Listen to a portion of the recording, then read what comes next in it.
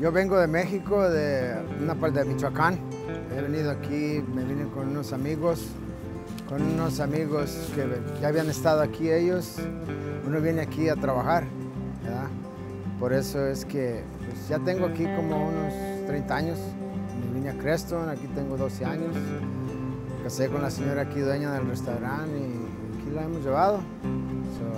Todo el tiempo he trabajado en restaurantes. Nunca sabía que iba a trabajar en restaurante aquí en Estados Unidos. Venía de allá de ordeñar las vacas, o de el rancho y todo. Pues si tuviera un millón de dólares, oiga, no se puede decir muchas cosas. ¿eh? Primero compré una, compré una casa. el pueblo pues creo que cuesta más que eso. Está muy bonito aquí, me gusta. Tengo mi familia, mis hijos, que pues, los he criado aquí y todo.